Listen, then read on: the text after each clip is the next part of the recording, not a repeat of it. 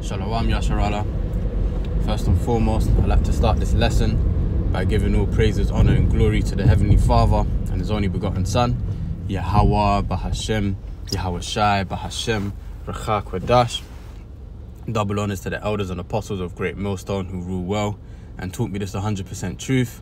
Double salutations to the Akim out there, spreading this word in truth and sincerity. And shalom to the few Aqua that are listening in today.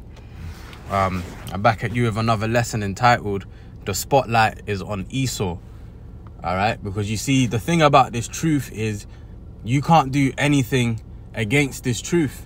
You know, you try and do anything against this truth, and all it does is further forward this truth onto a whole nother level. Alright, you've got Esau trying to ridicule those that are um exposing him for who he is, you know, the devil that he is all right which esau by the way is the so-called white man. Okay? And um he can't hide himself man. You know esau has got a lot to pay for. And you see when that judgment comes it's gonna be so great. Because um they've lived they've lived um voluptuously. You know they didn't think the day would come where they would have to pay for all their sins. All right they forgot that part that was written in prophecy. All right, they didn't consider their latter end, you see. So now you've got Esau being exposed for the devil that he is. You know, you've got all uh, all of his wicked acts coming to light. Everything that he's done in the dark is now coming to light. You know, you've got these celebrities uh, uh, exposing them for being for not being the real Jews as they claim they are. All right, there's a particular basketball player. I think his name is uh, uh, Kyrie Irving, if I'm not mistaken. You know, I'm not too familiar with basketball, so Salaki if that's not his name. But you know, he's coming out and exposing these devils as well, man. So it, it's not just yay. All right, and, and really and truly, all these Jake celebrities, they know the truth. But not all of them are gonna expose Esau because uh, they don't want to lose that bag. You know, they still want to get paid. All right, they don't want to be xed out. They don't want to be cancelled. So, they, so they're going to keep their mouths quiet, man. But you see, the Lord has got a special judgment for them, man. Because they have furthered the affliction on the nation of Israel by keeping silence. All right. But anyways, let's jump into the precepts real quick. All right. So this is Job 9 and 24, by the way. Looking at this image here, the earth is given into the hand of the wicked. All right. And this is the wicked. Okay. These are these are the people responsible, or some of the people responsible for all the heinous crimes and un unrighteous decrees that go forth throughout the whole planet Earth. All right, and they're getting ready to pay for it, man. You know, and it, you, the way the land of America, aka Babylon the Great, is going to be destroyed. It says in Revelation 18 that in one hour, so great riches cometh to naught. You know, because it's only going to take the Lord one hour to completely destroy this devil's kingdom, man. One hour. It's taken them, what, sub 500 years to build it up to where it is now. All for it to come crashing down and burn it in an hour. And then for them to go into uh, slavery for a thousand years under the Israelites. You know, it sucks to be Esau, man. That's the truth. All right, they tried to make us feel bad for being the Lord's chosen people. But, you know, the truth is coming to light, man. And we're being glorified. So anyways, without further ado, let's jump into the precepts. This is Second Thessalonians chapter 2 and verse 3. And it reads, Let no man deceive you by any means, for that day shall not come, uh, except there be a falling away first, and that man of sin be revealed, the son of perdition. And that's exactly what's happening right now, you know, because right now, as it stands, it's clear as day to see who who, who the true uh, devils are, man. You know, the deceivers. And that's none other than the so-called white man, Esau Edom. It's clear to see who is the seed of the wicked. You know, for a long time, these Edomites tried to portray us the Israelites, the Negroes, Latinos, and Native Americans as the wicked ones, you know. and then they had us pretty much committing wickedness in autopilot. You know, putting us in the uh, uh, low states of living. You know, council houses or the projects. Uh, putting drugs in our in our um, in our uh, what do you call it? In our neighborhoods. You know, turning us against each other. So now you, you got Jake smoking weed, uh, in gang gang banging, you know, and, and that's the whole culture, man.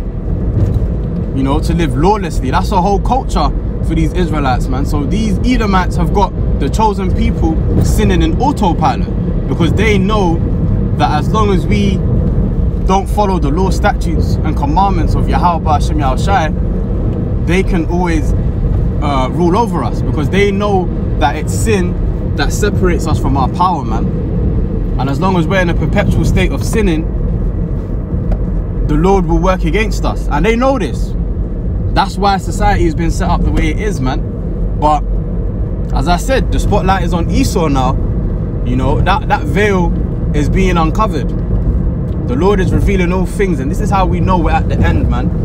Because Esau hasn't been put on blast like this ever. You know, but now there's so many different things happening on top of Esau being put on blast you know, you can't say this ain't the end, man. You know, we are here now. You see? He who shall endure until the end, the same shall be saved. Alright? So, you know, what a time to be an Israelite in this truth. This is the time where all the prophets of old have waited for, man. You know? The prophets of old always asked the Lord, how long? How long do we have to endure this, man? How long do we have to endure having our enemies ruling over us? Us being at the bottom, you know? How long? Well, the time is now, man. The Lord is about to um, free us, you know? He's about to redeem us, man. So, Kahalayim La, Yahweh Ba'ashim Yahshai, Ba'ashim Rachak Wadash, man. Which is all praises to Yahweh Ba'ashim Yahshai. And um, in the name of the Holy Spirit. You see? In the Hebrew. This is the book of um let's go to the book of Habakkuk.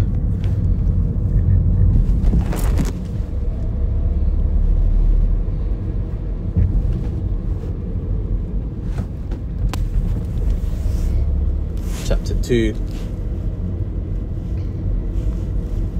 verse 14, and it reads, um, For the earth shall be filled with the knowledge of the Lord as the waters cover the sea. And, that's exactly what's happening now, man.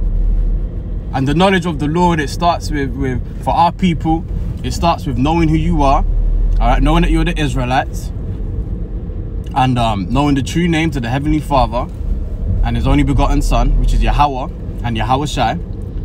And you know, for the rest of the world, that's uh, th this comes as um, you know the wicked being revealed, Esau, Edom being exposed for the devil that he is, right?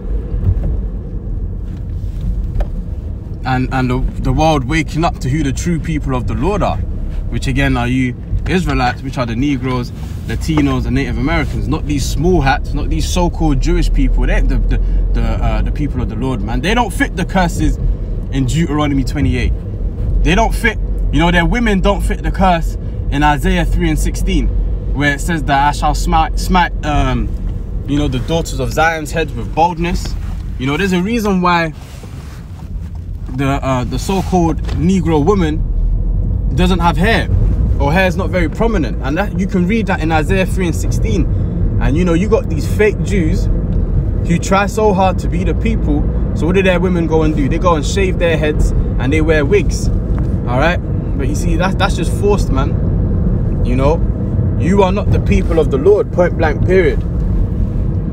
Habakkuk two and fifteen. Woe unto him that giveth his, that giveth his neighbor drink, that puttest thy bottle to him, and makest him drunken also, that thou may look on their nakedness. And that's exactly what Esau has done. You know, all all these um other nations have drunken of the wine of Esau, which means they've pretty much uh, cultivated the the um, philosophies of Esau Edom, right?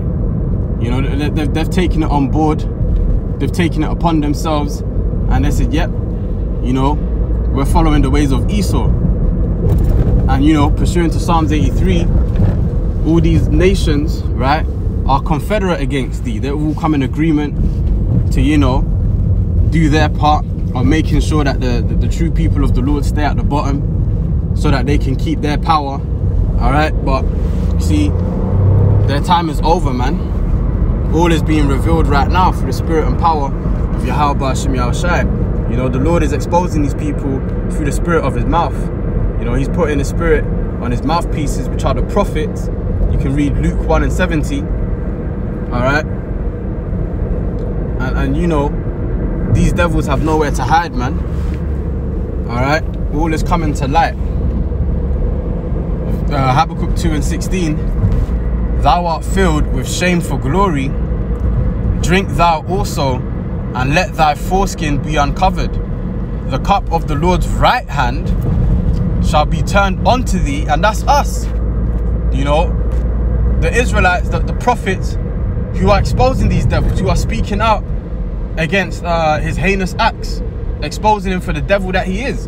All right, the cup of the Lord's right hand shall be turned unto thee, and shameful spewing shall be on thy glory. Because at one time, you know, let's all admit it, man. You know, because of uh, Esau's whitewashing and and and and, and you know his uh his deceit at one time in our lives let's be honest we wanted to be an edomite man i remember growing up as a kid you know seeing how these edomites live these nice residential areas they got money they they ain't in trouble like like like like jake is man you know their world is the world is their oyster pretty much.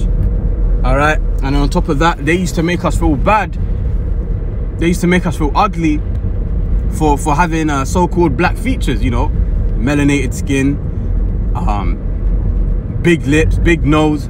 Yet we're made in the image of the heavenly father man. We're made in the image of of, of, of uh, those that dwell in heaven.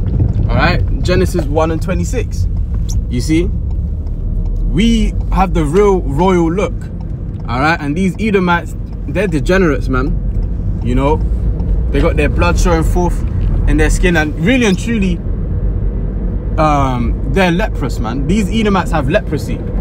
You know, to not have that pigment in your skin is leprosy, and that's a marker um, of their wickedness. You know, the Lord said that He would set a mark upon Cain. These Edomites are the descendants of Cain. All right. So there's no mistaking who the devil is, man. You see? And Lord, He's getting ready to destroy them, man. Alright, the Lord ain't for these devils. Their time is up. Alright, their expiry date has reached. And the Lord is uh, tearing down all their strongholds. Let's go to the book of uh, Jeremiah.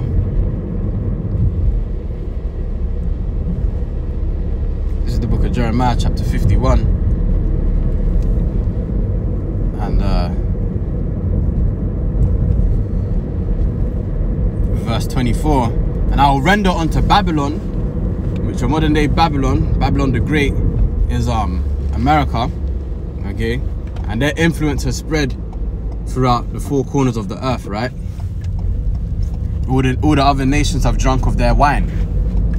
And I'll render unto Babylon all the inhabitants of Chaldea all their evil that they have done in Zion in your sight saith the Lord so, so you know, you're about to be recompensed, Esau, for all the evil you've done. And furthermore, you're going to be recompensed double, right? Verse 25, Behold, I am against thee, O destroying mountain, all right, which mountain uh, represents government, all right? And the Lord is against this destroying government of Esau, Edom, saith the Lord, which destroyeth the whole, which destroyeth all the earth, and I will stretch out mine hand upon thee and roll thee down from the rocks and I will make thee a burnt mountain. And we know that that nuclear destruction via World War III and that concentrated fire from the from the chariots of the Lord are coming upon this earth, all right, to destroy the strongholds of Esau. You see, that day is around the corner, man. You know, the prophecies are all lining up. So many things are happening all at once the MOTB, the C hip is around the corner. You know, this this this work of the Lord is beautiful, man. Alright, we're almost home, Israel. You know, we just gotta hang in there, man. But we can see that our power is real because everything that's written of that's written in the scriptures is coming to life before our eyes, man. So there's no denying the credibility of the scriptures. Okay, let's close out here in uh uh this is second Esdras chapter 6 and verse 27 and it reads for evil shall be put out and deceit shall be quenched. Yeah man those, those lies ain't gonna work no more man. They ain't working no more now esau. All right you you're being revealed. You see? Verse 28 as for faith it shall flourish.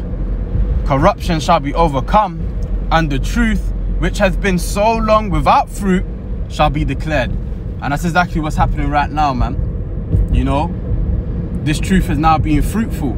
You've got the the, the great awakening happening across the four corners of the earth.